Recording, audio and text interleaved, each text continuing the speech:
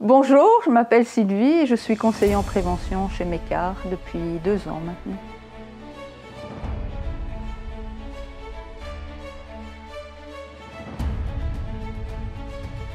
Mon rôle, c'est de conseiller l'employeur et les travailleurs par rapport aux risques euh, liés au poste de travail ainsi que l'hygiène sur les, lieux du travail. Mon rôle est aussi d'être euh, en support de la ligne hiérarchique afin de les accompagner et de les aider à mettre en place une politique de prévention au sein de l'usine.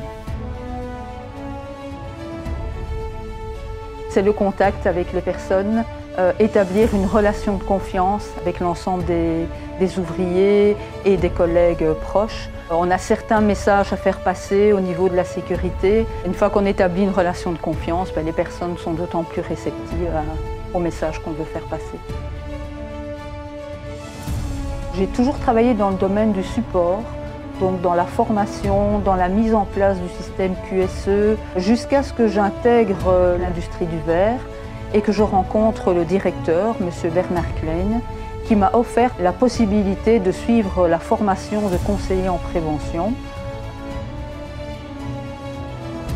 Donc il y a beaucoup de personnalités féminines que, j'admire forcément. Si je devais en citer une, ce serait Audrey Hepburn, qui est née en Belgique et qui, outre son parcours euh, dans la mode et le cinéma, a été très active aussi et très dévouée en tant qu'ambassadrice de, de l'UNICEF. Je pense que tant les hommes que les femmes ont quelque chose à apporter. C'est une expérience unique parce qu'on découvre ça nulle part ailleurs qui permet aussi parfois d'avoir un sentiment de participer à la sécurité et au bien-être de la société.